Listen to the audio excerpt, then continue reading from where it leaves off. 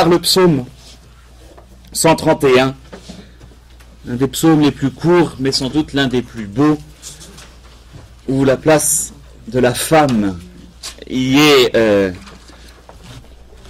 important, particulièrement dans, son rôle de mère. Seigneur, je n'ai pas le cœur fier, ni le regard hautain. Je n'ai pas pris un chemin de grandeur, ni de prodige qui me dépasse. Non, je tiens mon âme en paix et silencieuse, comme un petit enfant contre sa mère. Comme un petit enfant, telle est mon âme en moi. Mets ton espoir Israël dans le Seigneur, dès maintenant et à jamais. Dieu avec son cœur de mère, j'ai rajouté une chaise ici si vous voulez, avec son cœur de mère, on n'a pas trouvé de meilleur exemple finalement pour désigner euh, euh, l'amour de Dieu. Ça va être une image féminine. Hein. On le reverra, j'en reparlerai sur toutes les, qualificatifs féminins de Dieu. Ce sera pour un peu plus tard. Aujourd'hui, je prends le troisième livre dédié, j'allais dire spécialement euh, aux femmes, après Ruth et Esther, le livre de Judith. Je vous dis tout de suite, la prochaine fois, je prendrai les femmes des juges, dans le livre des juges, parce que c'est là qu'on a aussi une série de, femmes intéressantes, enfin, voilà, de figures féminines très intéressantes. Si vous voulez pouvoir vous préparer pour la, la semaine, euh, dans 15 jours, ce sera le, livre des juges. Il doit rester quelque chose. Voilà. Ça permet de, de euh, se situer. Le livre de Judith, très rapidement, je vais commencer juste par une, présentation en tant que telle du livre. Euh, vous savez que parmi les, ouvrages de la Bible, un certain nombre n'ont pas été intégrés aussitôt dans euh, le canon des Écritures. Enfin, quand je dis aussitôt, c'est-à-dire qu'ils n'ont pas été intégrés au deuxième siècle, mais au quatrième siècle. Donc, à vrai dire, ça va quand même. Hein, c'est vers 360 environ que le canon, ce qu'on appelle le canon des Écritures, la liste en tout cas des, livres que euh, nous utilisons, euh, catholiques et orthodoxes d'ailleurs, euh, est identique. Vous savez que les protestants ont moins de livres que nous, nous en avons un certain nombre et les orthodoxes en ont plus que nous. Ils acceptent quatre ou cinq livres supplémentaires par rapport à nous, dont justement le canon des Écritures peu importe en soi, mais le livre de Judith fait partie de ceux qu'on a appelés les deutéro-canoniques. Euh, quand je vous le note, hein, euh, parce que c'est celui d'Esther d'ailleurs aussi, deutéro-canonique. Les, les, comment dire, les protestants ne les, ne les prennent pas en compte dans la Bible, deutérocanonique. Je suis désolé, ils n'écrivent plus, j'ai dit au Père Lévi qu'il fallait falloir faire quelque chose. Il faut qu'on le recommande. Euh, pour quelle raison Car ils sont sans doute d'abord d'écriture tardive, ils étaient dans une tradition et surtout les textes originaux sont assez nombreux et assez variés. On avait vu la dernière fois avec le livre d'Esther, j'ai parti en, en, hébreu, je l'ai parti en grec. Il y a deux récits qui sont assez différents. Bref, le livre de Judith apparaît légèrement à part dans cette série de livres deutéro-canoniques qui ne sont pas euh, inscrits au canon des Écritures aussitôt. Euh, peu importe, ils ne sont pas reconnus dans la Bible hébraïque et pourtant le récit de Judith, ça veut dire la juive. Hein, euh, le récit de Judith, il reste encore des chaises, en faites pas. J'arrive au bout, après il faudra s'asseoir sur les tables. le livre de Judith en, en, tant que tel, voilà, la juive va raconter tout un récit euh, très libre quant à l'histoire et même euh, quant à la géographie, mais pareil, de, la même manière, un récit édifiant. C'est le but. Autant celui d'Esther, on collait à l'histoire, dans une certaine mesure, avec Xerxès, qui est quand même connu dans l'histoire, avec les usages de la cour euh, perse, qui correspondaient à peu près à ce qui est raconté dans le livre, avec une détermination des lieux qui était somme toute assez proche de la réalité. Là, avec Judith, on a une souplesse extraordinaire à la fois quant au, euh, quant au lieu et quant, au, quant à l'histoire. Je commence rapidement. Bonjour. Il reste encore, hein, il reste encore, il doit rester une chaise. C'est la dernière. Voilà. D'abord, quant au personnage, euh, le livre s'ouvre, c'était la douzième année de Nabucodonosor qui régna sur les Assyriens et Ninive. Euh, Nabucodonosor n'a jamais régné sur les Assyriens et Ninive, il les a écrasés, c'est différent, et il les a envahis. Nabucodonosor est roi de Babylone, d'abord. Hein, le, livre s'ouvre vraiment sur une erreur historique, c'est pour vous dire, voilà, en tant que tel. C'est l'intérêt, à mon avis, du livre de Judith, qui va être faux pour nos critères historico-géographiques contemporains, mais qui va dire une vérité bien plus profonde que ces critères. Lorsqu'on en a parlé de la vérité de la Bible, oui, la Bible dit la vérité, mais là, c'est certainement pas de l'ordre historico-géographique, voilà, mais une vérité qui va être profonde dans le livre de, Judith en tant que tel.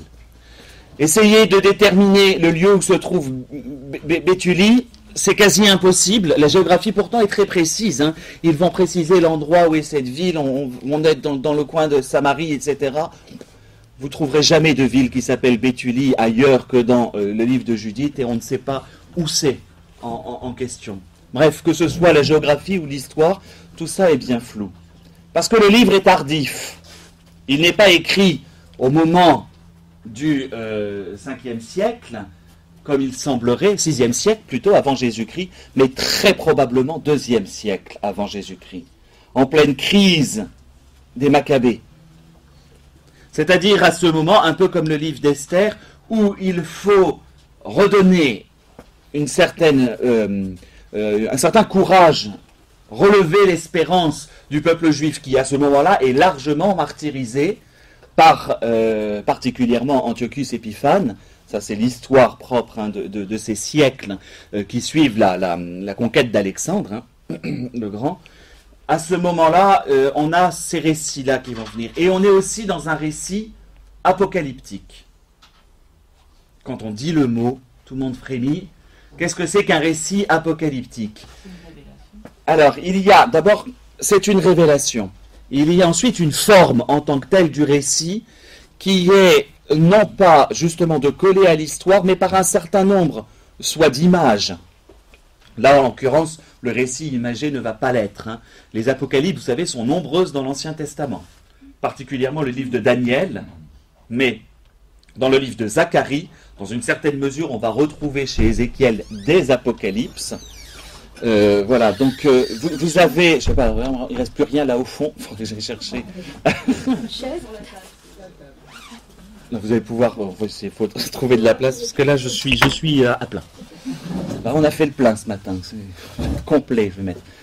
Euh, voilà, les, apocalypses donc sont, nombreuses. Qu'est-ce qu'elles signifient? C'est une manière de, toujours pareil, de, de, remonter le moral, entre guillemets, de faire revenir à la foi un peuple qui, dans la guerre, a de, dans la guerre et dans la persécution, a des risques, a des risques entre autres, de perdre l'intégrité de sa propre foi. Et on va le voir, la personne de Judith va entrer, va être le personnage, on va dire, euh, révélateur, apocalyptique si vous voulez, révélateur de la vérité, de l'attitude qu'il faut avoir dans la persécution. C'est comme ça qu'il faut déjà entrer dans ce, dans ce, dans ce texte. Je pense que sinon on n'y arrivera pas ou comme un beau récit, et on aura à l'image de le magnifique tableau du Caravage où euh, Judith tient la tête de l'Auferne. Hein, c'est un très beau tableau. Euh, voilà, ça a énormément inspiré, en revanche, le personnage de Judith, euh, l'art, et particulièrement au XVIIe siècle. Mais voilà, est-ce que c'est un joli récit édifiant seulement? Je crois qu'il y a quelque chose de plus profond, qui révèle une vérité profonde de l'attitude du croyant dans la persécution. D'autre part, et je vais le voir si j'ai le temps, enfin c'est pour ça que je vous donne un peu avant les clés, d'autre part, il y a aussi une ouverture à l'universel. Le deuxième siècle, dans l'histoire d'Israël, va avoir deux tendances. On va les retrouver d'ailleurs, ces tendances, au temps de Jésus. Une tendance à se dire, il faut que nous préservions le peuple, donc de repli sur soi. Hein? Il faut que nous préservions notre identité juive. Ce qui va être une tendance d'ailleurs très pharisienne, avec un, refus. Il va y avoir une colère énorme lorsque Ptolémée va demander à ce que l'on traduise la, la Bible des Septante, la Bible en grec. Des juifs, on va dire orthodoxes à l'époque, vont refuser et vraiment s'opposer violemment à ce que l'on traduise la Bible en, grec. Il va y avoir ce repli sur soi. Et il y a aussi, en raison d'une diaspora déjà existante, en raison d'un message qui, alors que quelqu'un comme Platon ou Aristote, un ou deux siècles avant, avait quand même, dans leur philosophie, abouti à un Dieu unique. Aristote aboutit à ce qu'il ne peut y avoir qu'un seul Dieu. Hein, le polythéisme connaît déjà à ce moment-là des, grandes difficultés. Euh, à, cette époque-là, il y a dans le judaïsme un courant qui affirme qu'il y a quelque chose de l'ordre de l'universel, qu'Israël est finalement lumière pour les autres nations. On l'a déjà dans le livre d'Isaïe, hein, en tant que tel. On va l'avoir déjà chez un certain nombre de prophètes, mais le temps que ce soit intégré et compris, eh bien, voilà. Et ça va être à ce siècle-là. Or, le livre de Judith s'inscrit dans ce courant-là. Le récit se passe en terre de Samarie. Samarie, a priori, pour les, juifs les plus pratiquants orthodoxes, c'est quand même pas un, lieu béni. Au contraire même.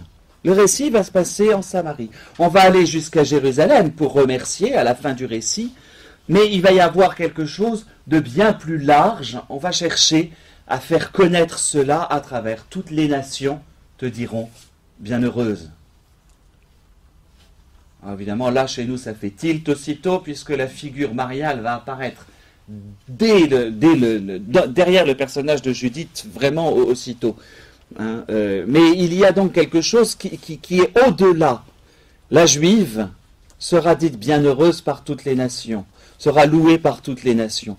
Elle sera regardée, la juive, donc Judith, sera observée, vue, admirée. Et cela provoquera les conversions. Il y a cela hein, dans, le judaïsme, il ne faut pas l'oublier. Cette idée que euh, euh, le peuple élu doit rayonner sur toutes les nations. Mais rayonner de la foi, de la vraie foi. Hein, dans le principe de l'élection de Dieu, il y a cela. Et dans le principe d'élection, en, l'occurrence, c'est vrai qu'on choisit soit un mode, soit un autre. Le, principe d'élection, c'est moi qui ai été choisi, les autres, vous n'y avez pas part. Ou alors, c'est moi qui ai choisi pour vous montrer le vrai chemin vers Dieu. Voilà, donc euh, c'est toujours intéressant d'avoir ce contexte-là. On va entrer hein, dans la lecture en tant que telle du livre de Judith. Il n'est pas très long en tant que tel. Oui, pardon, dernière chose sur cette universalité du salut, c'est le, personnage euh, d'Achior. J'en reparlerai. Mais ce païen qui finalement va dire ce qu'est la foi. Un personnage aussi très étonnant là-dedans. Donc, le livre de Judith, je, vais passer rapidement sur le début, euh, parce que euh, aller sur toute la campagne de Loferne, etc., mais c'est la mise en récit, on, dresse le décor, vous savez, comme dans, un, conte. On a pareil, hein, je vous dis, avec Esther, on avait déjà ça. Avec Ruth, on a un film, hein, on a un bon scénario bien ficelé. Là, on plante davantage le décor. Holoferne, avec un nom comme ça, ça fait pas très babylonien, ça fait quand même très très grec. Hein, euh, de toute façon, euh, voilà, la campagne d'Holoferne, ou alors on va... Euh, voilà, on va, on, refaire le, récit dans une grande épopée. Et là, en revanche, c'est très intéressant. Dans une grande épopée universelle. L'empire babylonien est saisi véritablement à ce moment-là comme l'empire universel. Celui qui, qui, qui, qui, qui, a soumis toute la terre connue. Hein, ces grands empires ont cet effet-là. Hein, je relisais ce matin en voyant, le plus important a quand même été l'Empire perse après, parce qu'il est allé de la vallée de l'Indus euh, jusqu'à la mer Égée, c'est quand même pas rien comme empire, hein, euh, euh, en tant que tel. il tombera sous le joug des Parthes, mais quand même, ce sera un, empire effrayant. Et, ces empires qui se succèdent les uns après les autres, où est-ce qu'on place le récit? On est dans l'histoire universelle. Hein, ça concerne tout le monde connu. Voilà. Euh, pour ça qu'on va commencer avec euh, Nabucodonosor et ses conquêtes. Hein, c'était en la douzième année de Nabucodonosor qui régna sur les Assyriens à Ninive, la grande ville. Arphaxad régnait alors sur les Mèdes à Ekbatan. Voilà, il entoura cette ville d'un mur d'enceinte en pierre de taille, large de trois coudées et longue de six. Alors voilà, on décrit parfaitement euh, les choses. La chute, pour le coup, de, d'Arphaxad, en tout cas des, Mèdes, euh, et les euh, et les et les victoires, en tout cas des des, des Babyloniens sur les Mèdes. Voilà. J'avance parce que alors, si, ce qui est intéressant, au verset 7,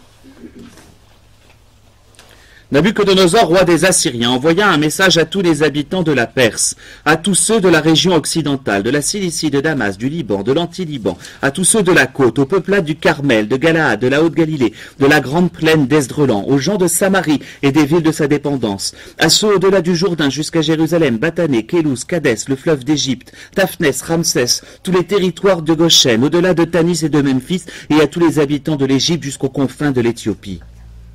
Voilà, pour vous dire, hein, voilà, c'est le monde. Le monde euh, entier qui est euh, concerné.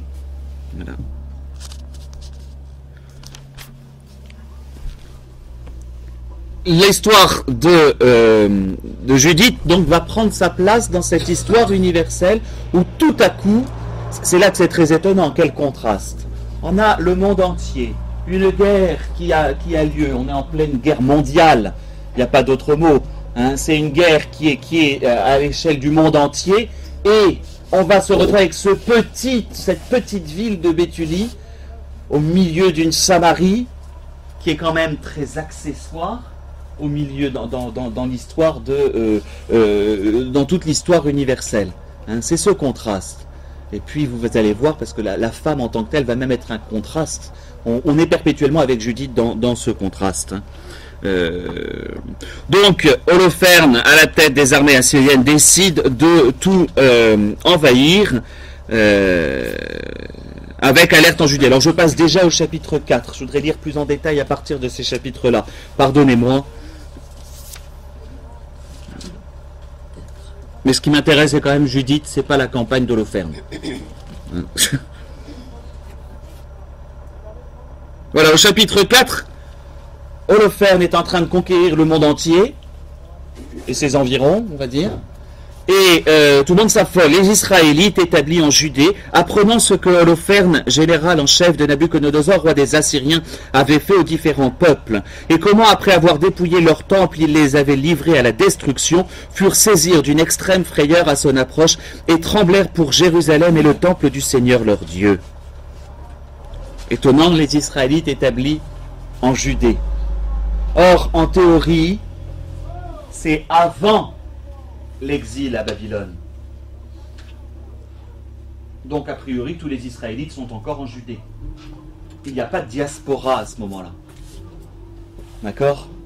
Hein, la, remarque est assez étonnante. Hein, c'est ce qui nous fait bien comprendre que le récit est du deuxième siècle, à un moment où il y a une diaspora. C'est-à-dire qu'après, avec l'exil à Babylone, là, ils sont déjà installés. Hein, même avec l'exil, euh, euh, les Samaritains, déjà avec la chute de Samarie. Hein. À peine venait-il de remonter de captivité et le regroupement du peuple en Judée, la purification du mobilier sacré, de l'autel et du temple profané étaient choses récentes. Hein, on mélange deux périodes. D'accord? Il faut, un peu. Là, on mélange deux périodes. Il n'y a pas eu d'exil encore, puisque c'est censé se passer sous Nabucodonosor, et c'est Nabucodonosor qui fait tomber le temple de Salomon. D'accord? Donc euh, là, euh, il s'est emmêlé les pinceaux. Ils alertèrent donc toute la Samarie, Konab et Toron, Belmaïn, Jéricho, Koba et Sora et la vallée de Salem. Les sommets des plus hautes montagnes furent occupés, les bourgs qui s'y trouvaient fortifiés. On prépara des approvisionnements en vue de la guerre, car les champs venaient d'être moissonnés. Le grand prêtre Joachim, alors en résidence à Jérusalem, écrivit aux habitants de Béthulie, et de Béthomestaïm, ville située en face d'Esdrelon et vers la plaine de Dotaïn, pour leur dire d'occuper les hautes passes de la montagne, seule voie d'accès vers la Judée. Il leur serait d'ailleurs aisé d'arrêter les assaillants, l'étroitesse du passage ne permettant d'y avancer que, de, que deux de front. Les Israélites exécutèrent les ordres du grand prêtre Joachim et du conseil des anciens du peuple d'Israël siégeant à Jérusalem. Là où ça devient intéressant, Béthulie n'existe pas. Sait pas où c'est. On a beau décrire le passage, on ne voit pas du tout où ça peut être. En revanche, c'est celle qui va garder la possibilité d'arriver sur Jérusalem et par conséquent, c'est la ville qui permet qu'on ne détruise pas le temple du Seigneur. Donc, le, rôle de Judith, là, on, s'approche d'elle hein, peu à peu, on prend du temps avant de rencontrer notre héroïne, mais le rôle de Judith, il est là aussi. Elle va devenir défenseur, si vous voulez, ou gardienne de la liberté du culte dans le temple de Jérusalem. Et elle va en être finalement le héros. C'est étonnant de la part d'une femme, justement. C'est ça la chose intéressante, c'est que là, c'est une femme qui va tenir ce rôle. Quand les hommes, on va le voir, sont tous poltrons. Hein? Il nous y avait habitués déjà à la passion, mais là, voilà. Il y a quand même une prière. Avec une ardeur soutenue, tous les hommes d'Israël crièrent vers Dieu et s'humilièrent devant lui. Eux, leurs femmes, leurs enfants, leurs troupeaux, tous ceux qui vivaient avec eux, mercenaires ou esclaves, saignirent leurs reins de sac. Tous les Israélites de Jérusalem, femmes et enfants compris, se prosternèrent devant le sanctuaire et la tête couverte de cendres étendirent leurs mains, les mains devant le Seigneur. Ils entourèrent d'un sac l'autel lui-même. À grands cris, ils suppliaient unanimement et avec ardeur le Dieu d'Israël de ne pas livrer leurs enfants au pillage, leurs femmes au rapt, les villes de leur héritage à la destruction, le temps à la profanation et l'ironie outrageante des païens. Attentif à leur voix, le Seigneur prit en considération leur détresse. Dans toute la Judée et Jérusalem, devant le sanctuaire du Seigneur Tout-Puissant, le peuple jeûnait de longs jours. Le grand prêtre Joachim et tous ceux qui se tenaient devant le Seigneur, prêtres et ministres du Seigneur, le sac sur les reins, offraient l'holocauste perpétuel, les oblations votives et les dons volontaires du peuple, et le turban couvert de cendres, ils suppliaient intensément le Seigneur de visiter la maison d'Israël. Le drame vous dis, c'est vraiment, on est en plein drame, tout va mal. Euh, c'est la guerre, on va tous être envahis, et, voilà. Le chapitre 5, en revanche, est extrêmement intéressant. Avant même, les deux personnes, Israël a, a, foi en Seigneur. Il prie pour une fois, il supplie, il s'humilie. Ça, l'auteur nous le fait remarquer. Mais on va se retrouver avec finalement deux personnages inattendus quand tout le monde va flancher. Et ça, c'est le chapitre 5, avant même de nous montrer, euh, Judith va nous montrer ce personnage d'Achior, très particulier, qui va annoncer la vraie foi, un païen, qui va garder confiance dans le Seigneur, une femme, veuve qui plus est. Donc autant dire qu'elle n'est juridiquement rien. Donc deux personnes qui ne sont rien aux yeux des juifs orthodoxes euh, d'un point de vue et juridique et religieux. Là, on retrouve évidemment déjà dans l'Ancien Testament toujours la préférence de Dieu pour ce qui est petit et ce qui n'est rien. Hein, et pour le mettre euh, justement en avant, pour, agir et, mettre en œuvre sa euh, volonté, ce qui est rien aux yeux des hommes, j'entends, ce qui n'est pas le cas pour lui. Voilà. Donc conseil de guerre, pareil, je, dois avancer parce que sinon je n'irai pas tout ce que je veux lire. Voilà. Achior, donc chef de tous les, Ammonites. Et les Ammonites, n'oubliez pas que c'est une race qui est détestée. Hein. les fils d'Ammon sont une race détestée par Israël, à même titre qu'Édom. Ce sont des cousins germains, mais des cousins qu'on n'aime pas. À la mode corse, là, vous savez. Je ne sais pas pourquoi, mais c'est. Voilà ils sont eux aussi descendants des, filles, des filles euh, euh, de Lot. Hein. Ce sont des descendants des, filles euh, incestueuses de Lot. Que mon Seigneur écoute, je t'en prie, les, les, paroles prononcées par ton serviteur. Je vais te dire la vérité sur ce peuple de montagnards qui demeure tout près de toi. De la bouche de ton serviteur, aucun mensonge ne sortira. Les gens de ce peuple sont des descendants des Chaldéens. Anciennement, ils vinrent habiter en Mésopotamie parce qu'ils n'avaient pas voulu suivre les dieux de leur père établis en Chaldée. Ils s'écartèrent donc de la voie de leurs ancêtres et adorèrent le Dieu du ciel, Dieu qu'ils avaient reconnu. Bannis alors de la face de leur Dieu, ils s'enfuirent en, en Mésopotamie où ils habitèrent longtemps. Leur Dieu leur ayant signifié de sortir de leur résidence et de s'en aller au pays de Canaan, ils s'y installèrent et y furent surabondamment comblés d'or, d'argent et de nombreux troupeaux. Ils descendirent ensuite en Égypte, car une famille s'était abattue sur la terre de Canaan, et ils y demeurèrent tant qu'ils y trouvèrent de la nourriture. Là y devinrent une grande multitude et une race innombrable. Mais le roi d'Égypte se dressa contre eux et se joua d'eux en les astreignant au travail des briques, en les humilia, en les assujettit à l'esclavage. Ils crièrent vers leur Dieu qui frappa la terre d'Égypte tout entière de plaies sans remède. Les Égyptiens les chassèrent alors loin d'eux. Devant eux, Dieu dessécha la mer Rouge et les conduisit par le chemin du Sinaï et de Cadès et de Cadès Barnée. Après avoir repoussé tous les habitants du désert, ils s'établirent dans le pays des Amorites et vigoureusement exterminèrent tous les habitants de Heshbon. Puis, traversant le Jourdain, ils prirent possession de toute la montagne, expulsant devant eux les Cananéens, les Périsites, les Jébuséens, les Sichémites, ainsi que tous les Girgashites, et ils y habitèrent de longs jours. Tant qu'ils ne péchèrent pas en présence de leur Dieu, la prospérité fut avec eux, car ils ont un Dieu qui est l'iniquité. Quand au contraire ils s'écartèrent de la voie qu'il leur avait assignée, une partie fut complètement détruite en de multiples guerres, l'autre fut conduite en captivité dans une terre étrangère. Le temple de leur Dieu fut rasé et leurs villes tombèrent au pouvoir de leurs adversaires. Alors ils se retournèrent de nouveau vers leur Dieu, remontèrent de leur dispersion, des lieux où ils avaient été disséminés, reprirent possession de Jérusalem où se trouve leur temple, et repeuplèrent la montagne demeurée déserte. Et maintenant, Maître et Seigneur, s'il y a dans ce peuple quelque égarement, s'ils ont péché contre leur Dieu, alors assurons-nous qu'il y a bien à eux cette cause de chute, puis montons, attaquons-les.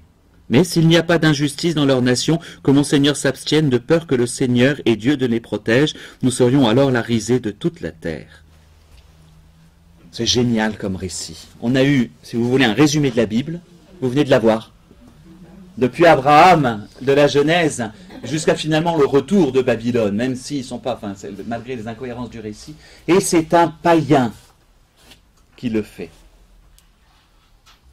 Vous savez bien que le, euh, Israël, je profite hein, de, ces cours, je ne parle pas évidemment que, que des femmes, mais j'en profite pour certaines euh, habitudes de culte. Et le culte d'Israël, comment se fait-il toujours? Si vous lisez les psaumes, avant de supplier le Seigneur, que fait-on? On lui rappelle ce qu'il a fait. De bien, évidemment. Israël est un, est un comment dire, la, foi d'Israël, et d'ailleurs c'est la nôtre, et nous en sommes profondément héritiers, est une, une, une foi de mémoire, d'anamnèse, si vous préférez. C'est-à-dire qu'on ne cesse de rappeler à Dieu, rappelle-toi ton amour, rappelle-toi ce que tu as fait. On ne cesse de redire ses bienfaits, on ne cesse de redire tout ce qu'il a déjà fait pour garder confiance, à la fois lui demander et ensuite garder confiance. Que fait Achior? Bah, Un récit extraordinaire de la manière dont Dieu a choisi le peuple d'Israël, à une condition qu'Israël lui obéisse. Il redit voilà, lui-même. Et, en ce sens, il, agit comme un, juif priant. Vous comprenez ce que, je veux dire? C'est comme ça que fonctionnent les psaumes. On va avoir d'abord le récit de ce qui est, euh, de ce que le psaume a, euh, de ce que le, Dieu a fait, et ensuite on, va le supplier quand même. Jamais dans l'autre sens. Ce serait bon dans notre prière de temps en temps de se souvenir de ça. Notre prière, hein, comme je le dis souvent, on, commence en tant que chrétien, pardon de cette parenthèse, mais en tant que chrétien, on commence avec notre liste au Père Noël, notre checklist. Alors, faut que je prie pour ça, pour ça, pour ça. Mais est-ce que d'abord on fait mémoire des bienfaits de Dieu? Mon Dieu, merci, tu m'as donné ça, ça, ça et ça. Tu as fait ça pour nous. Regardez la, manière dont est construite une prière eucharistique. Elle est justement construite d'abord pour faire mémoire de euh, la bonté de Dieu avant les supplications qui sont après le, récit de la scène. Bref. Voilà comment Achior. Bon alors simplement, il est un peu en train de faire une magnifique apologie du peuple juif. Ça va pas plaire tellement en face. Quand Achior essaie de parler, toute la foule massée autour de la tente se prit à murmurer. Les notables, il, est un peu en train de semer la discorde, quoi. Il est en train de faire retomber le moral des, troupes de. Hein, les notables d'Holoferne, tous les habitants de la côte comme ceux de Moab parlaient de, le mettre en pièces. Qu'avons-nous à craindre des Israélites? C'est un peuple sans force ni puissance, incapable de tenir dans un combat un peu rude. Allons donc, montons, et ton armée n'en fera qu'une bouchée au notre maître Holoferne. Voilà. Il livre à Kior à ce moment-là. J'avance au chapitre 7. Je voulais m'arrêter sur le personnage d'Achior. Donc les Israélites vont le, le chercher juste quand même à la fin du chapitre 6.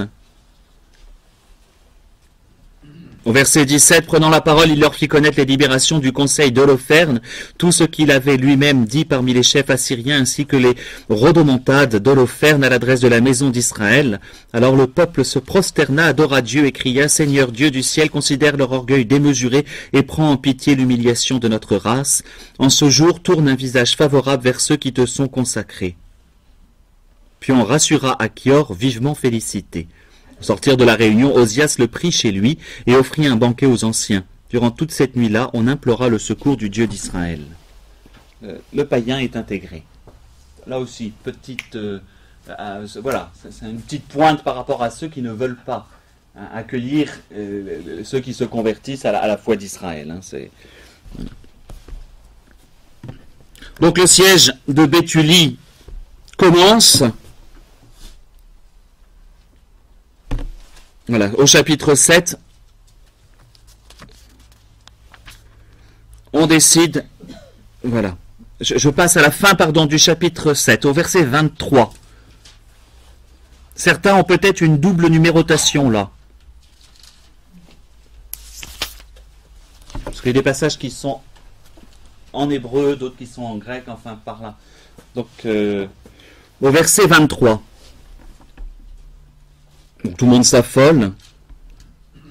tout le peuple, adolescents, femmes et enfants, se rassembla autour d'Osias et des chefs de la ville, poussant de grands cris et disant en présence de tous les anciens que Dieu soit juge entre vous et nous, car vous nous avez causé un immense préjudice en ne traitant pas amicalement avec les Assyriens. Maintenant, il n'y a plus personne qui puisse nous secourir. Dieu nous a livrés entre leurs mains pour être terrassés par la soif en face d'eux et périr totalement. Appelez donc tout de suite, livrez entièrement la ville au pillage des gens d'Holoferne et de toute son armée.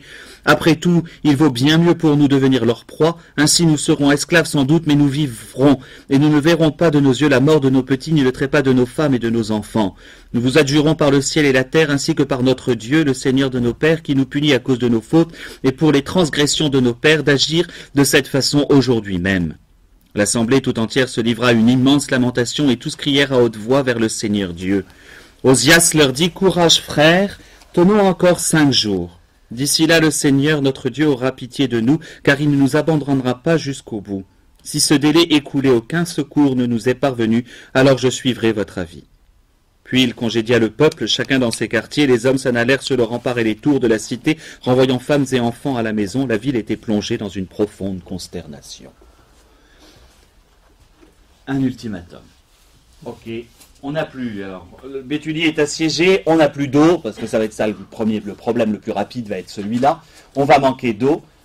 Qu'est-ce qu'on fait? On se rend ou on se rend pas? On a de quoi tenir combien de temps? Cinq jours. Et là, voilà, elle arrive.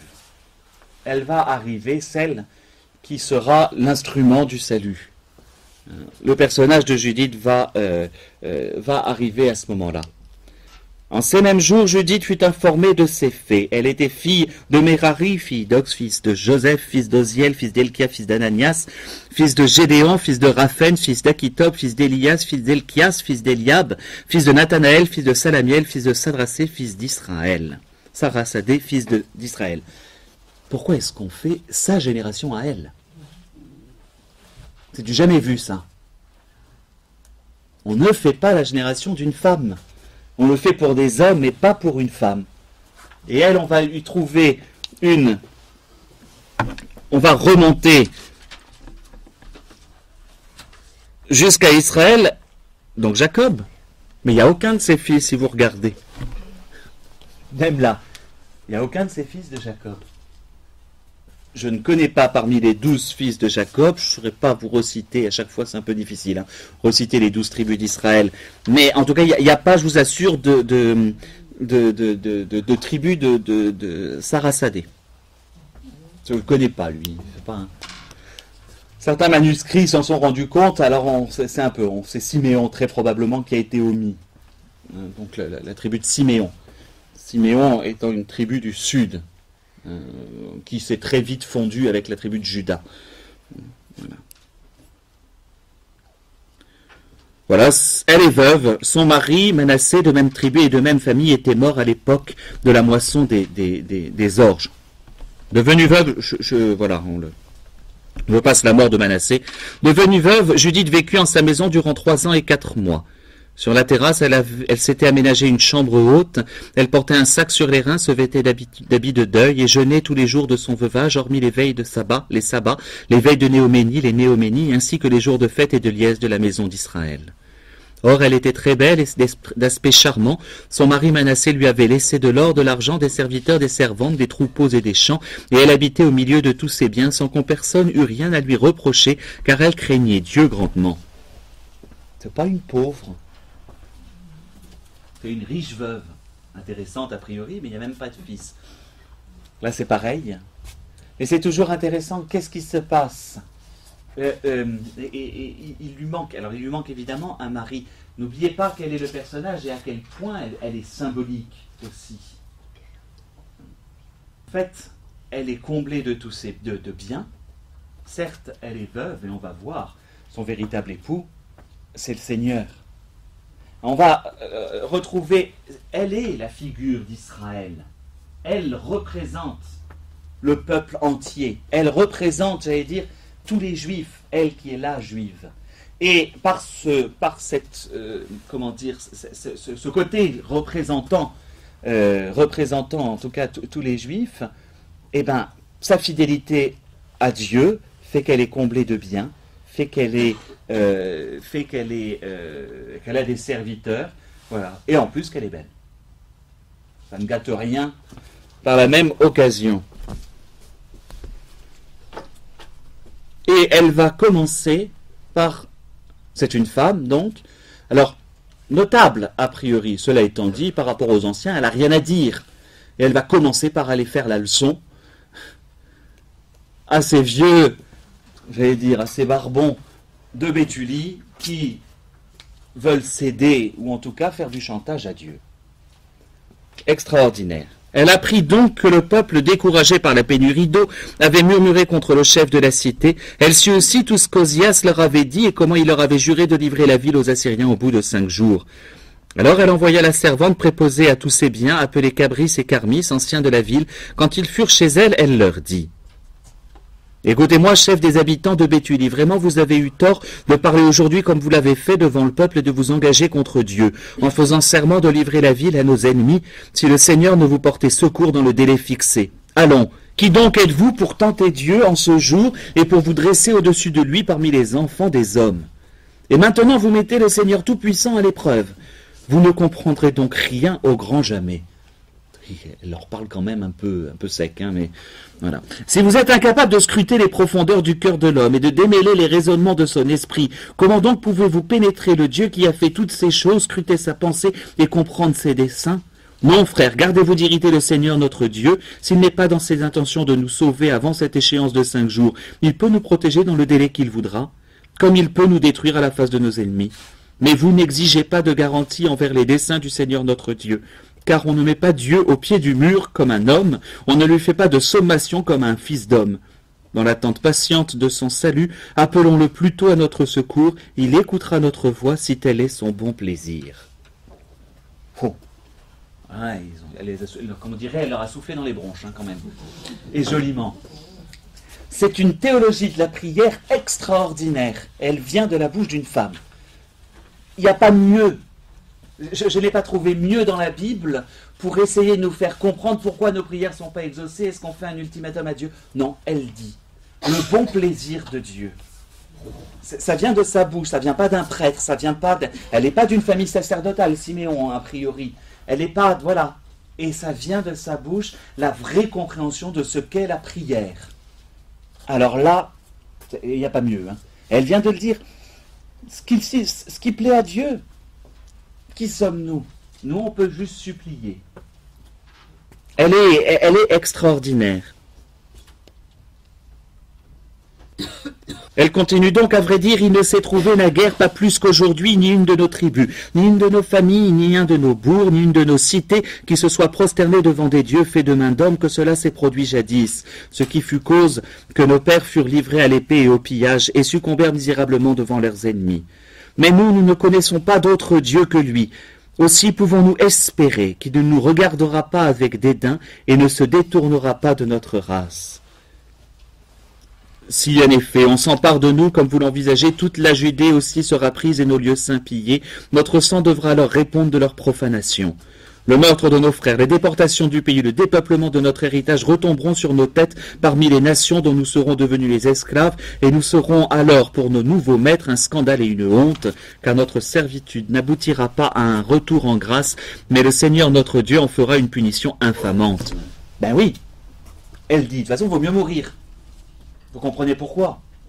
Et il vaut mieux qu'on meure maintenant, parce que si jamais ils prennent la ville, nous, on sera peut-être esclaves. Si on se rend, on sera esclaves ailleurs, mais à cause de nous, tout le peuple va être tué. Donc, grosso modo, maintenant, c'est trop tard. Hein? Il vaut mieux. Euh, voilà, elle est, elle est en plus politique, quoi. Un peu plus politique que ne, l'ont été les hommes, qui ont cédé à la pression euh, publique. Et maintenant, frères, mettons-nous en avant pour nos frères, car la vie leur vie dépend de nous, et le sanctuaire, le temple et l'autel reposent sur nous. Et là, on a une figure, alors profondément aussi, je vous ai dit, hein, le, Christ a ses figures féminines dans l'Ancien Testament. Là, elle le fait, alors évidemment, avec tout le peuple. Mais voilà, notre sacrifice permet voilà, c'est nous maintenant qui, avons qui, qui, allons être, entre guillemets, alors le terme n'apparaît pas du tout, mais les rédempteurs, les sauveurs de tout le reste du peuple. Elle se situe là. et elle le fait comprendre aussitôt, hein, ce côté, euh, euh, oui, ce côté, ben, tout repose sur nous. Qu'est-ce que vous voulez? Pour toutes ces raisons, alors là, dans, la qualité de la prière, ce discours de Judith, on devrait le connaître par cœur. Pour toutes ces raisons, rendons plutôt grâce au Seigneur notre Dieu qui nous met à l'épreuve, tout comme nos pères. On est dans une épreuve, remerciez le Seigneur. Allez, je vais vous apprendre ce que c'est que prier, moi. Voilà Judith. Hein.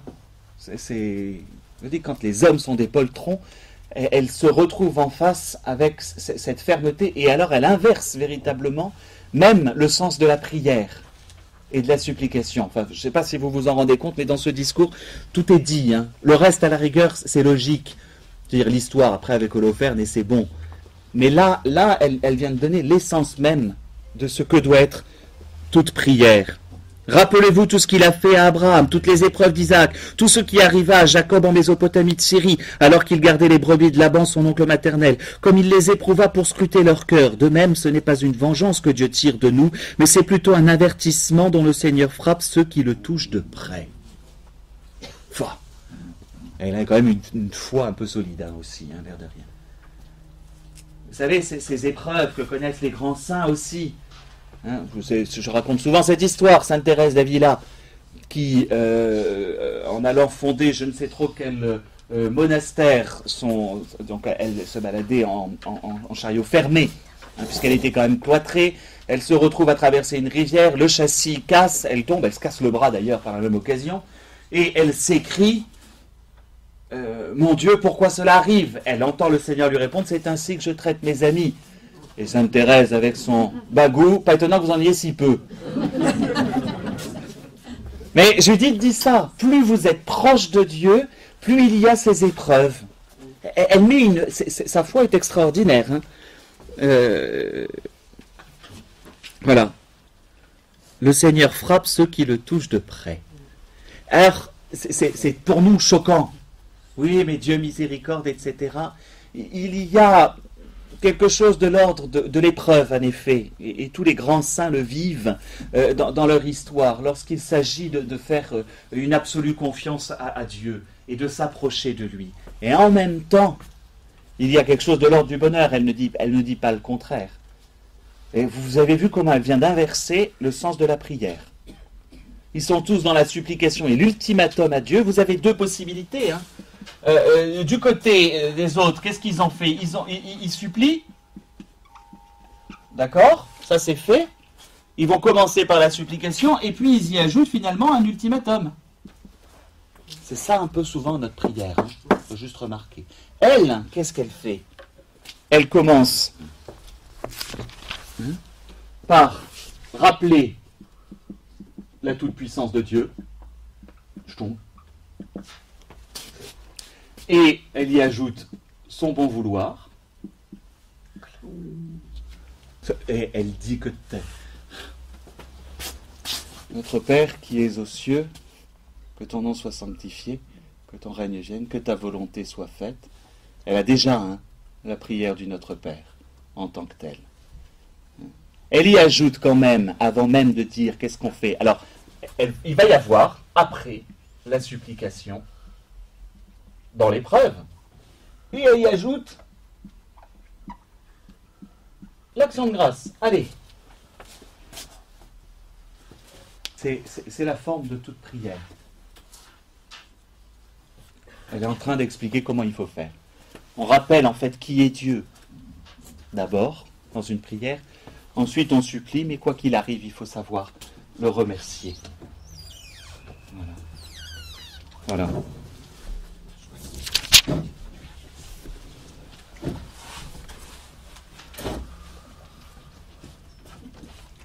Réponse donc d'Osias. Hein. Donc euh, euh, euh, voilà, c'est la prière en tant que telle. Hein. C'est assez extraordinaire ce qu'elle fait. Comment elle, elle réinverse. Hein. Donc c'est rappeler qui est Dieu, qui est Dieu d'abord.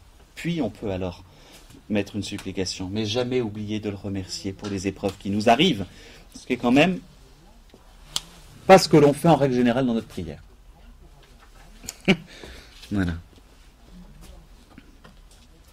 Tout ce que tu viens de dire, répond Osias, tu l'as dit dans un excellent esprit et personne n'y contredira. Bien sûr, ce n'est pas d'aujourd'hui que se manifeste ta sagesse. Dès ta prime jeunesse, le peuple tout entier a reconnu ton intelligence, tout comme l'excellence foncière de ton cœur. Mais les gens avaient tellement soif, ils nous ont contraints de faire. Et il est en train de faire exactement comme Adam. C'est pas ma faute. C'est parce que les gens, ils avaient soif. Vous savez? Avec le, le fruit. Il a fait la même chose, Adam. C'est très étonnant. Hein. C'est un des récits les plus féministes qui soit hein, de la Bible que le livre de Judith, parce que les hommes n'ont vraiment pas, euh, voilà, euh, ont vraiment pas la bonne part. Hein. Euh, les gens avaient tellement soif, ils nous ont contraints de faire ce que nous leur avions promis et de nous y engageant par un serment irrévocable.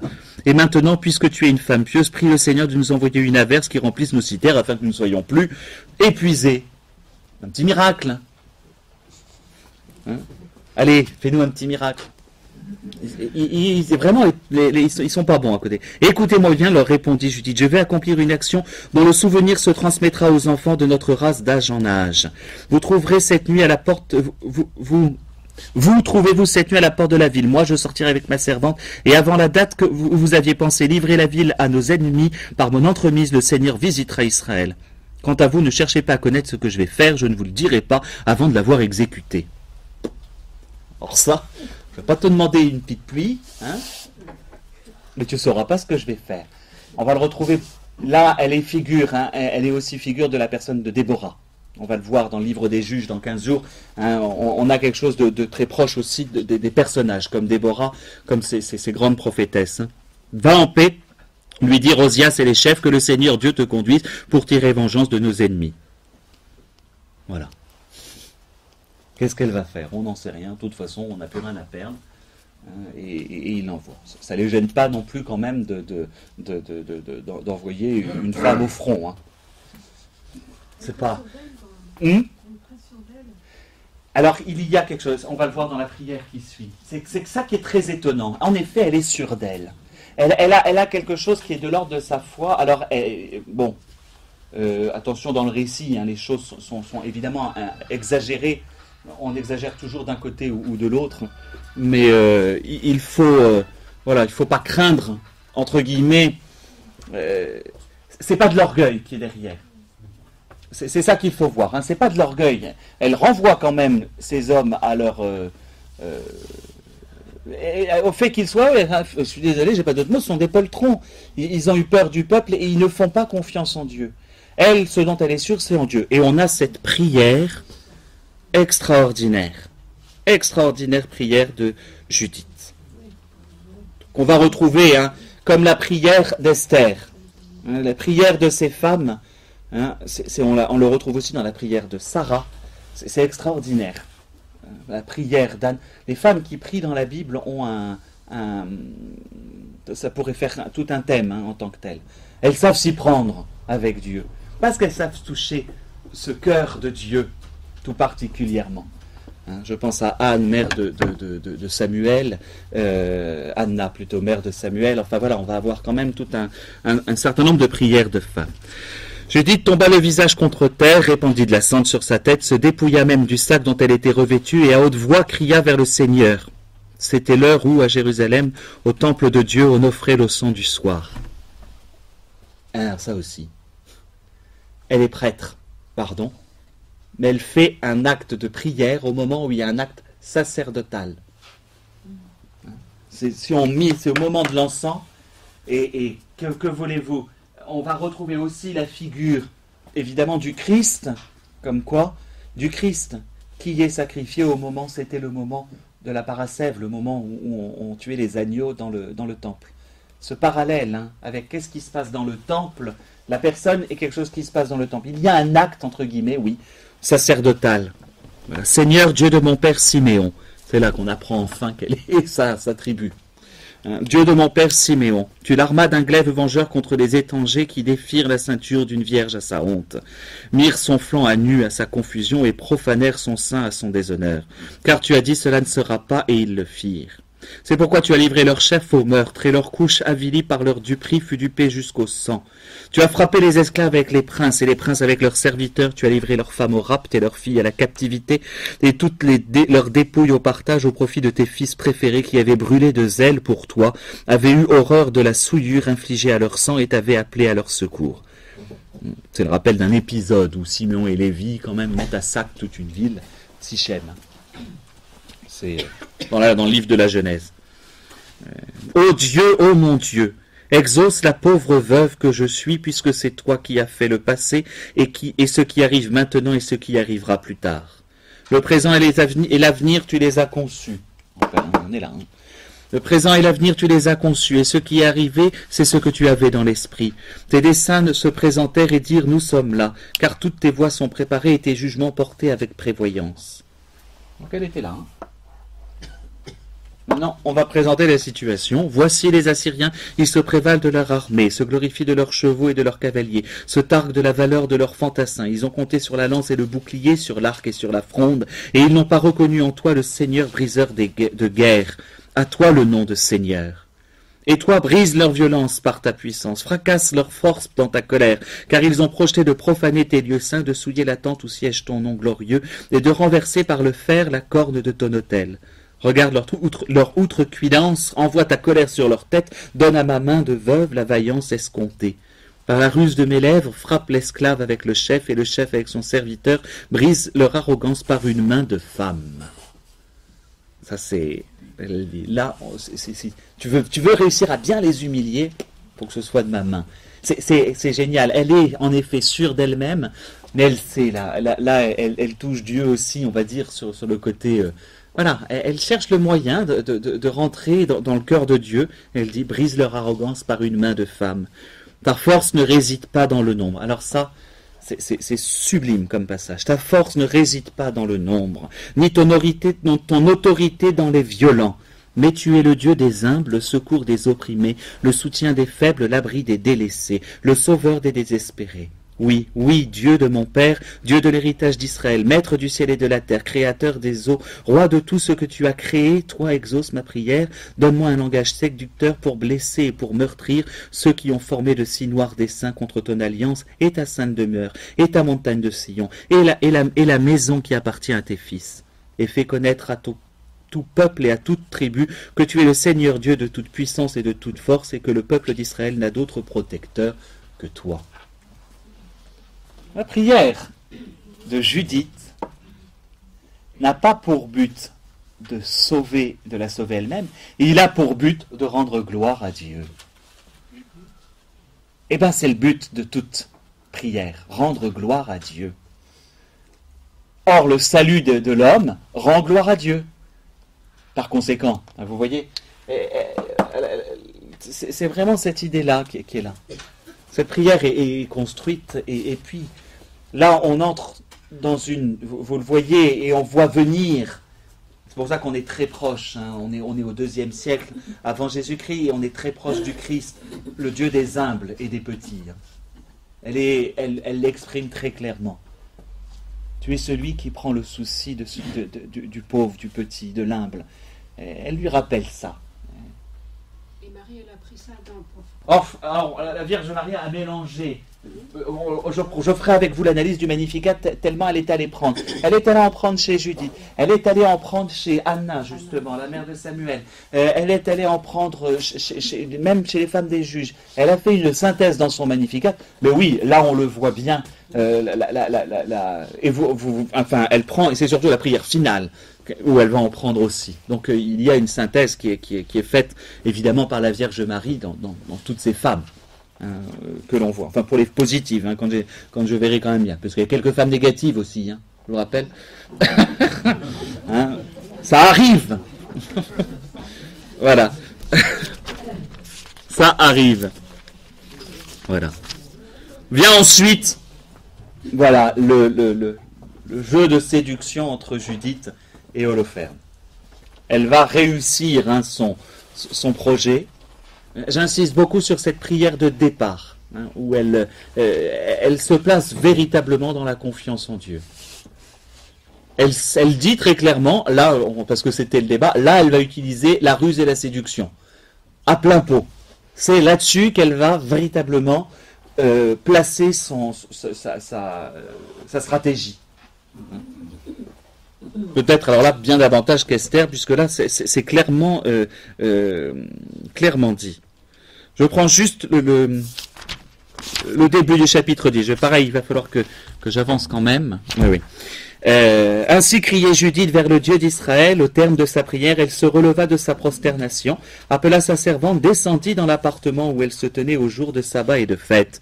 Là, ôtant le sac qui l'enveloppait et quittant ses habits de deuil, elle se baigna, soignit d'un généreux parfum, peigna ses cheveux, ceignit un turban et revêtut le costume de joie qu'elle mettait du vivant de son mari Manassé.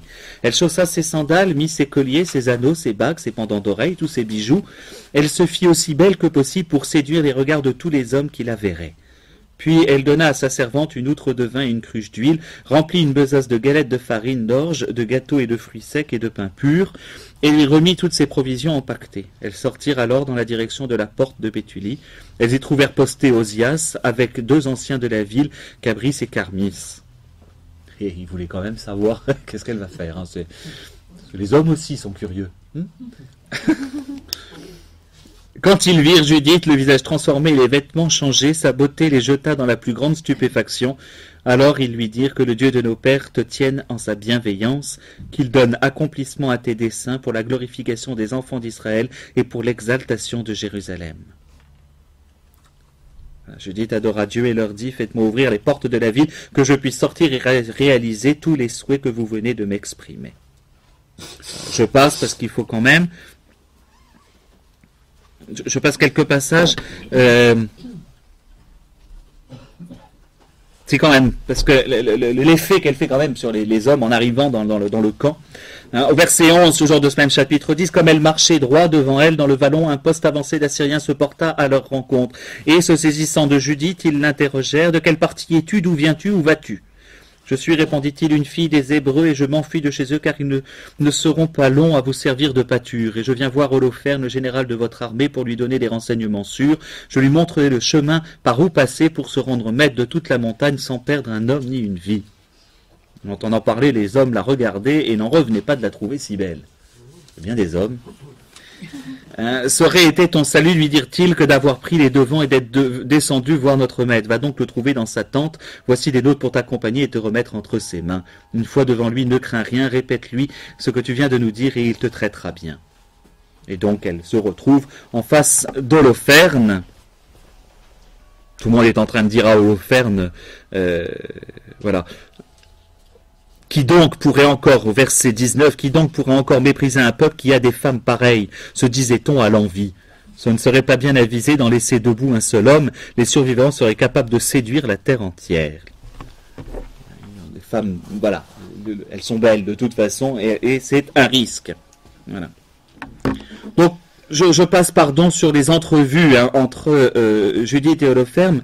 La seule chose qui est intéressante là-dedans, c'est qu'en même temps, elle va garder totalement euh, sa pureté. Tout en jouant de la séduction, elle saura toujours se mettre à l'écart. Tout en jouant d'une séduction réelle vis-à-vis d'Holoferne. Hein, et elle le fait languir, ce qu'il faut, pour pouvoir hein, l'enivrer, lui couper la tête, c'est quand même assez sympathique ça. Mais euh, elle, elle, euh, elle, elle, se garde pure. Elle arrive dans son dessin, hein, la fin ne justifie pas les moyens. Dans son dessin de sauver le, de, voilà, de, faire ce qu'il faut aussi, elle, va garder une, vraie distance. Voilà. Donc, la première chose, ça va être le mensonge en disant qu'ils se sont le, le, péché s'est emparé d'eux, etc. Et un peu plus loin, attends que je retrouve le passage. Voilà, c'est au chapitre 12. Il la fit ensuite introduire là où était disposée sa vaisselle d'argent, lui fit servir de s'aimer et lui donna à boire de son vin. Mais Judith, je me garderai bien d'en manger de peur que pour moi il n'y ait là une occasion de faute. Ce que j'ai apporté avec moi me suffira. Et si tes provisions viennent à manquer, comment pourrons-nous t'en procurer de semblables reprit Holoferne? Parmi nous, il n'y a personne de ta race. Vis en paix, mon Seigneur. Moi, ta servante, je n'aurai pas consommé toutes mes provisions. Que le Seigneur n'ait accompli par moi ses desseins. L'autre aveuglé, hein.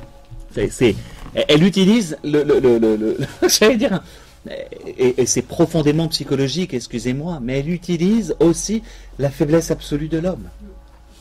Du mal, j'entends. Et là aussi, c'est fin. C'est l'homme qui ne sait pas, euh, voilà, qui peut à une telle vitesse se, laisser, se laisser séduire. C'est une faiblesse fondamentale de la nature masculine, je suis désolé. Et sur laquelle l'homme a toujours à lutter. Les femmes le savent. Et Judith utilise. Et, lui, euh, bah, il veut la faire boire, hein, il va pas y arriver, etc. Voilà.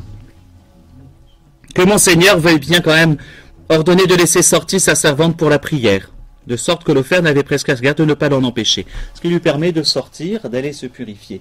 Il y a en revanche une profonde piété chez elle. Hein. elle, garde cette piété qui est d'avoir des aliments purs, donc elle ne peut pas manger ce que mangent des païens. Hein. Ça, c'est le principe, vous savez, c'est ce qui, véritablement euh, euh, va, toujours euh, éveiller les, gros soucis. Le début de la révolte des Maccabées, elle, est là. Enfin, quand on les force à manger du porc, vous savez, dans le livre des Maccabées, où la, mère aux sept fils, on veut les forcer à manger des aliments impurs. On ne dit pas du porc, des aliments impurs. Il y a cette question-là toujours. Elle va rester par la occasion, hein, parce que c'est didactique aussi, c'est de rappeler que dans l'épreuve, elle, sait aussi euh, elle sait aussi euh, préserver ce que Dieu demande, la loi de Dieu. Hein, elle ne s'en écarte pas. C'est ce qu'on appelle la piété. C'est vraiment ça, la, piété. Et donc elle sort tous les soirs pour prier. Cela dure trois jours. Le quatrième jour, un banquet. Le quatrième jour, Holoferne, donc c'est au verset 10 du chapitre 12, Holoferne donna un banquet auquel il invita seulement ses officiers, non compris ceux des services. Il dit à, Bagoas, l'eunuque préposé à ses affaires, va donc persuader cette fille des Hébreux qui est chez toi de venir avec nous pour manger et boire en notre compagnie. Ce serait une honte pour nous de laisser partir une telle femme sans avoir eu commerce avec elle. C'est un mec, il hein, n'y a pas à dire. Euh, si nous ne réussissons pas à la décider, on rira bien de nous. Faut que je monte ma virilité. C'est voilà. Bagoas sortit donc de chez Holoferne et entra chez Judith. Cette jeune beauté daignerait-elle venir sans tarder en présence de mon maître? dit-il. Elle sera à la place d'honneur en face de lui, boira avec nous un vin joyeux et deviendra aujourd'hui même comme l'une des filles des Assyriens qui se tiennent dans le palais de Nabucodonosor. Qui suis-je donc? répondit Judith pour m'opposer à mon Seigneur. Tout ce qui sera agréable à ses yeux, je le ferai avec empressement, et ce sera pour moi un sujet de joie jusqu'au jour de ma mort. C'est limite perfide quand même, hein. mais bon. Euh. Elle se leva, se para de ses vêtements et de tous ses atours féminins. Sa servante la précéda et étendit par terre vis-à-vis de l'offert de la toison que Bagoas avait donnée à Judith pour son usage journalier, afin qu'elle puisse y attendre pour manger. Judith entra et s'installa, le cœur de l'offert en fut tout ravi et son esprit tout brûlé. Il était saisi d'un désir intense de s'unir à elle, car depuis le jour où il l'avait vue, il guettait un moment favorable pour la séduire. Il lui dit, bois donc, partage notre joie. Je bois volontiers, Seigneur, car depuis ma naissance, je n'ai jamais tant apprécié la vie qu'aujourd'hui. C'est génial, le, le, double sens de tous ces dialogues. Tout le temps, on est... Euh, voilà. Elle prit ce qui lui avait été préparé à sa servante, puis mangea et but en face de lui. Holoferne était sous son charme, aussi but-il une telle quantité de vin qu'en aucun jour de sa vie il n'en avait tant absorbé. Mais c'est drôle en fait ce récit. C'est réellement, on, est face à un, euh, voilà. Quand il se fit tard, ses officiers se hâtèrent de partir. Tout le monde fait, hmm, voilà. Donc les officiers ont compris. Elle a très bien joué. Les officiers ont compris. Il est tout seul avec elle. Partons vite. Euh, voilà. Comme il a un peu bu, bon bah on les dérangera pas demain matin. De toute façon, c'est un siège, on a le temps, quoi. C'est ça qui va se passer. Elle, a, elle a, elle a bien organisé son truc. Elle, a une stratégie, mais alors euh, euh, parfaite. Hein. Judith fut laissée seule dans la tente avec Holoferne effondré sur son lit, noyé dans le vin. On dirait, dans ce cas-là, il n'a pas souffert. Lui. Judith dit alors à sa servante de se nuire dehors, près de la chambre à coucher, et d'attendre sa sortie comme elle le faisait chaque jour. Elle avait d'ailleurs eu soin de dire qu'elle sortirait pour sa prière et avait parlé dans le même sens à Bagoas. Tous en étaient allés de chez Holoferne et nul, petit ou grand, n'avait été laissé dans la chambre à coucher. Debout près du lit, Judith dit à elle-même, Seigneur, Dieu de toute force, en cette heure favorise l'œuvre de mes mains pour l'exaltation de Jérusalem. C'est maintenant le moment de ressaisir ton héritage et de réaliser mes plans pour écraser les ennemis levés contre nous. Elle s'avança alors vers la traverse du lit, proche de la tête de en détacha son cimeterre, puis s'approcha de la couche, elle saisit la chevelure de l'homme et dit Rends-moi forte en ce jour, Seigneur Dieu d'Israël. Par deux fois, elle le frappa au cou de toutes ses forces et détacha sa tête. Elle fit ensuite rouler le corps loin du lit et enleva la draperie des colonnes. Peu après, elle sortit et donna la tête de à sa servante, qui la mit dans la besace à vivre, et toutes deux sortirent du camp, comme elles avaient coutume de le faire, pour aller prier. Une fois le camp traversé, elles contournèrent le ravin, gravirent les pentes de Béthulie et parvinrent aux portes. Elle a quand même un peu de courage. Hein, Ça récit, c'est quand même. Alors, c'est. Voilà, on est, on est dans un, dans un récit, mais elle, elle montre aussi le, courage de celle qui. Elle a mis toute sa confiance en Dieu. C'est vraiment quelque chose d'extraordinaire. Il y a, dans un récit qui, qui, qui, qui est drôle, sanguinolent, enfin tout ce qu'on veut, mais dans un récit où, elle, joue justement de sa séduction et, où elle joue de, la faiblesse masculine en face d'elle, hein, euh, et, et, bien, ce qui est en revanche extraordinaire, c'est les deux prières. Elle ne le fait pas pour elle-même. Et, ça, juste au moment de euh, rends-moi forte, allez, on y va. Mon Dieu, aide-moi. Enfin, quand même, à trancher la tête de quelqu'un, c'est pas. Hein, voilà faut faire attention, c'est pas très catholique, en tout cas on n'est pas, mais on est aussi dans un ordre d'un récit qui est relativement euh, recomposé, enfin retravaillé, etc. Mais il y a vraiment quelque chose de, de, la confiance en Dieu, qu'elle elle ne cesse pas d'être là-dedans. Et donc elle arrive. Voilà. Et c'est cette, fin du chapitre 13. Je vais le lire en entier parce qu'il y a cette prière finale. Euh, voilà. De loin, Judith cria au gardien des portes, Ouvrez, ouvrez la porte, car le Seigneur notre Dieu est encore avec nous pour accomplir des prouesses en Israël. C'est tout le psaume euh, Porte, levez vos frontons. Hein. on, a ça qu'il entre ce roi de gloire, mais en fait, euh, je, vous dis qu'elle est une figure messianique, elle aussi. Hein. Elle est une figure du Christ, hein, en tant que telle. Voilà, euh, des prouesses en Israël et déployer sa force contre nos ennemis comme il l'a fait aujourd'hui. Quand les hommes de la ville eurent entendu sa voix, ils se hâtèrent de descendre à la porte de leur cité et appelèrent les anciens. Du plus petit jusqu'au plus grand, tout le monde accourut car on ne s'attendait pas à son arrivée. Les gens ouvrirent la porte, accueillirent les deux femmes, firent du feu pour y voir et les entourèrent. D'une voix forte, Judith leur dit Louez Dieu, louez-le, louez le Dieu qui n'a pas détourné sa miséricorde de la main d'Israël. Elle est là, toujours dans sa prière elle sait véritablement où se situer. Hein. Louez le Dieu qui n'a pas détourné sa miséricorde de la main d'Israël, mais qui cette nuit, à part ma main, brisé nos ennemis. Elle tire alors la tête de sa besace et la leur montre. Voici la tête d'Holoferne, le général en chef de l'armée d'Assur, et voici la draperie sous laquelle il gisait dans son ivresse. Le Seigneur l'a frappé par la main d'une femme. Vive le Seigneur qui m'a gardé dans mon entreprise, car mon visage n'a séduit cet homme que pour sa perte.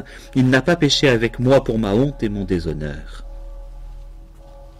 En proie à une grande émotion, tout le peuple se prosterna pour adorer Dieu et cria d'une voix d'une. Béni sois-tu, ô notre Dieu, toi qui en ce jour as anéanti les ennemis de ton peuple. Osias à son tour dit de Judith, Sois bénie, ma fille, par le Dieu très haut, plus que toutes les femmes de la terre. Et béni soit le Seigneur Dieu, créateur du ciel et de la terre, lui qui t'a conduite pour trancher la tête du chef de nos ennemis. Jamais la confiance dont tu as fait preuve ne s'effacera de l'esprit des hommes, mais ils se souviendront éternellement de la puissance de Dieu. Fasse Dieu que tu sois éternellement exalté et récompensé de mille biens, puisque tu n'as pas ménagé ta vie quand notre race était humiliée, mais que tu as conjuré notre ruine en marchant droit devant notre Dieu. Tout le peuple répondit Amen, Amen. Euh, je vais continuer après. Hein. Donc là, vous avez des paroles qu'Élisabeth va dire de la Vierge Marie. Hein. Tu es bénie entre toutes les femmes. On va attribuer hein, justement à Marie aussi. On va sans cesse retrouver euh, il va y avoir. Voilà. Euh, pardon, je voudrais quand même terminer parce qu'il y a l'action de grâce à Jérusalem qui est extraordinaire. Oui, alors il y a quand même la, parce qu'on va mettre en présence la veuve, qui est quand même victorieuse, et le païen, qui a, qui a dit la foi. C'est intéressant tout cela. Avant d'agir, c'est au verset 5 du chapitre 14, avant d'agir ainsi, appelez-moi. On dit qu'on va, on va assaillir hein, les Assyriens. Akior l'ammonite, pour qu'ils voient et reconnaissent le, contempteur de la maison d'Israël, celui qu'il avait envoyé parmi nous comme un homme voué d'avance à la mort. On fit donc venir Akior de, de chez Osias. Sitôt arrivé à la vue de la tête de l'offerne que tenait un des hommes de l'assemblée du peuple, il tomba la face contre terre et s'évanouit. Voilà, ce sont les hommes hein, qui tombent dans les pommes par rapport, au livre d'Esther. Hein. On le releva. Il se jeta alors aux pieds de Judith et se prosternant devant elle, s'écria Béni sois-tu dans toutes les tentes de Juda et parmi tous les peuples, ceux qui entendront prononcer ton nom seront saisis d'effroi. Béni sois-tu parmi toutes les tentes de Juda, c'est euh, euh, euh, naisse de c'est Balaam.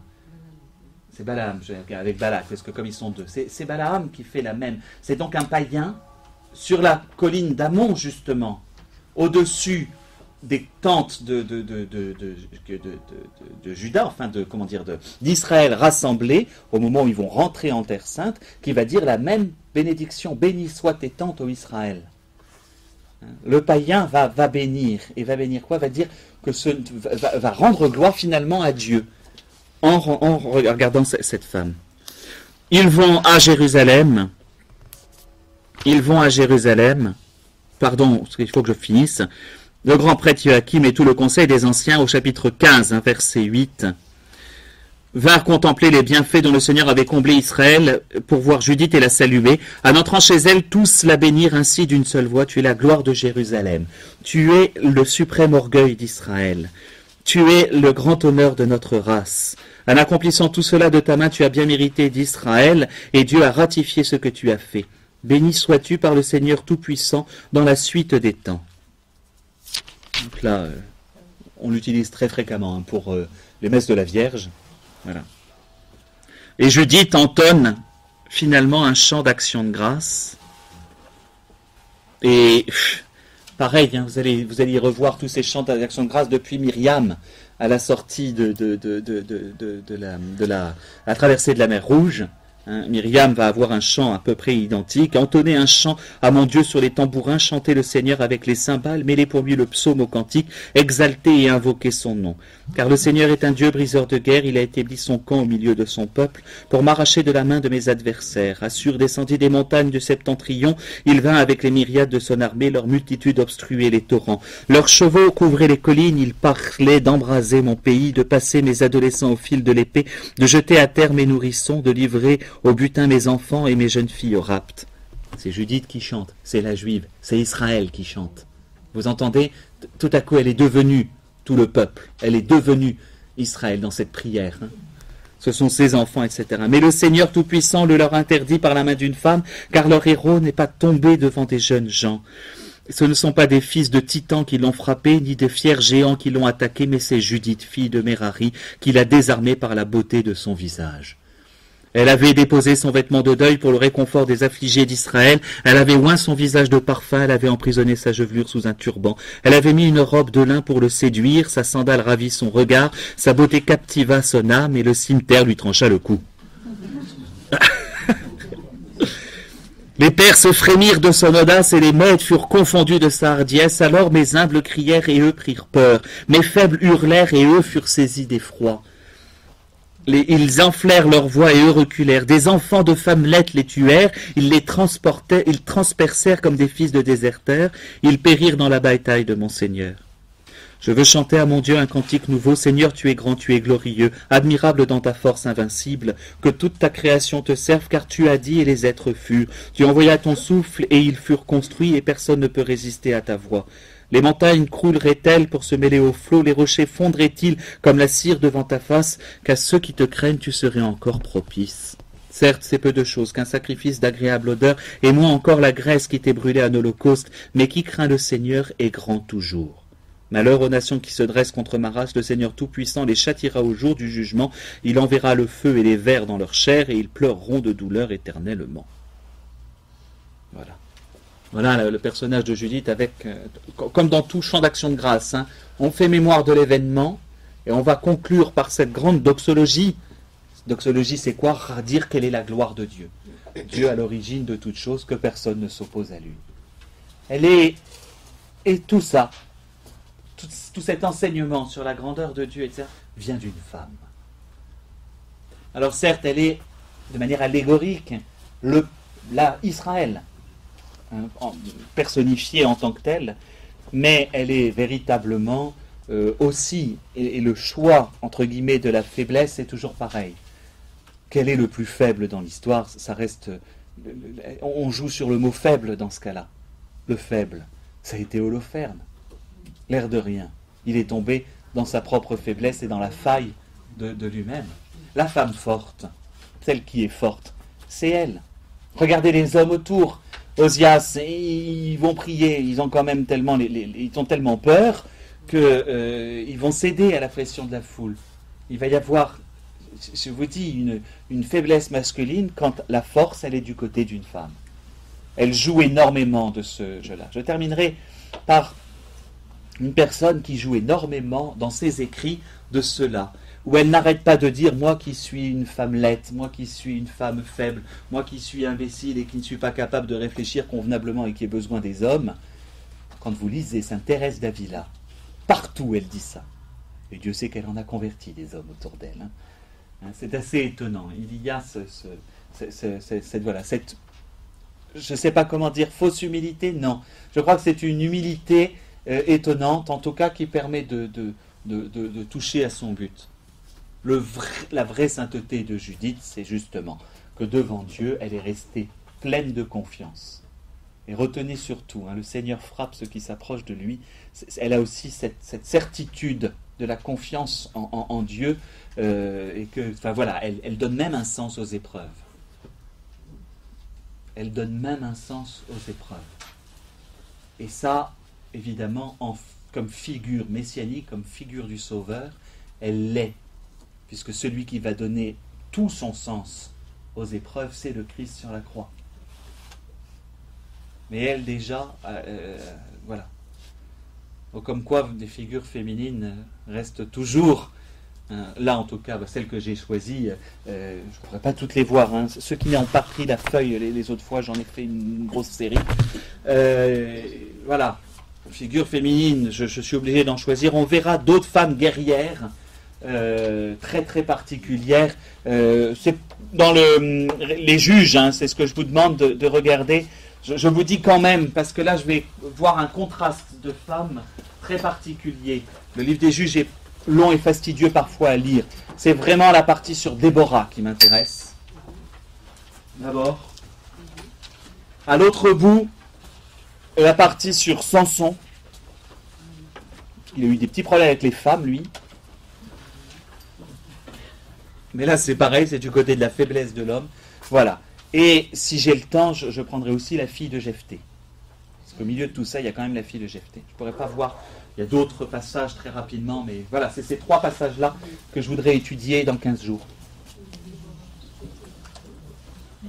Donc Déborah, Déborah Samson, c'est vraiment euh, donc euh, Samson c'est la fin du livre des juges. Euh, Déborah c'est plus avant. C'est un des premiers juges. Mais en revanche, si je si j'ai le temps, la fille de Jephthé, j'aimerais quand même traiter la fille de Jephthé la semaine prochaine, dans 15 jours. Je vous remercie de votre attention.